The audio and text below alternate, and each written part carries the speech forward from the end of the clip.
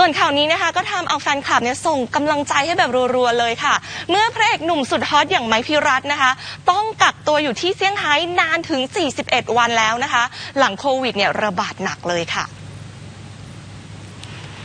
จากสถานการณ์การแพร่ระบาดของโควิด -19 ในเซี่ยงไฮ้ประเทศจีนนะคะ ทางการจึงสั่งล็อกดาวน์ประชาชนเนี่ยห้ามออกนอกพื้นที่ แล้วก็ห้ามออกจากที่พักอาศัยด้วยค่ะทำให้พระเอกหนุ่มไม้พิรัตซึ่งบินไปทำงานแล้วก็ใช้ชีวิตอยู่ที่เซี่ยงไฮ้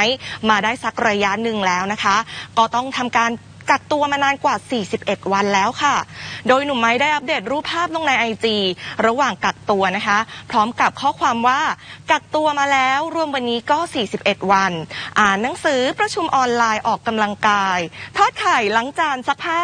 ทำความสะอาดห้องก็หมดไปอีกหนึ่งวันค่ะ